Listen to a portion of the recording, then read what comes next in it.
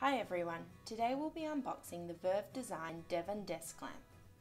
This sleek and simple lamp is the perfect addition to your study and living spaces. Inside the box you will find the Devon Desk Lamp, the power adapter and an instruction manual. The lamp does not need assembling. Connect the power adapter into the rear of the lamp and the other end into a power socket.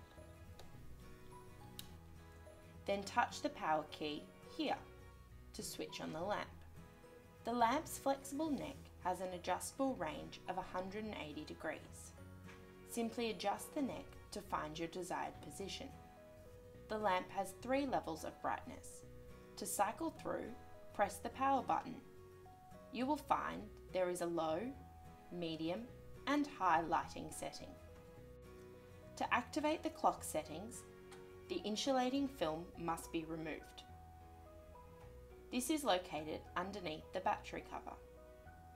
To do this, twist off the battery cover, remove the film and then screw the cover back in. The clock features will now be activated. In addition to the time, your Devon desk lamp can display the room's temperature, the date, and function as an alarm. To adjust or change these functions, you will need to use the four buttons located underneath the base of the lamp. The down, up, set and mode buttons. To adjust the date and time, press the S key. This will enter you into setting mode. To find the next setting, press S again. The settings are in the sequence of hour, minute, year, month, and day. To adjust the temperature and time, press down the key to switch between Celsius and Fahrenheit.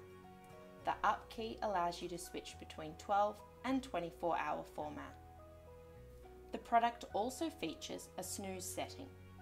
While in normal mode, press the M key to enter alarm mode. Under alarm mode, press S to enter the alarm setting. Press S again for the next setting.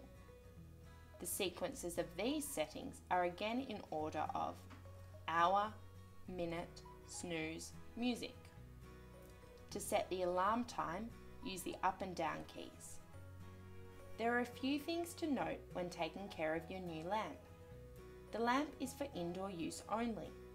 You can keep the lamp clean using a dry cloth. The LED lamp is non-replaceable and there should be also a minimum distance of 0.2 metres between the lamp head and any illuminated object.